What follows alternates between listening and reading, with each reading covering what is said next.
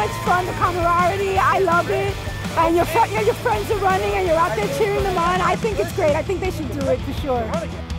It's an opportunity to, to help some of our New York and beyond runners and contribute to their success, and, and being a part of that is special uh, in any capacity. Just being with the community, it's uh, great to meet people and to give back. Just sign up to do it. Everyone's so friendly. Just go out there and do it. Sign up for it. Why not? Oh, we come by to get to know new people, get to see the city, and be part of NYC. Get out there and cheer. It's the best thing around.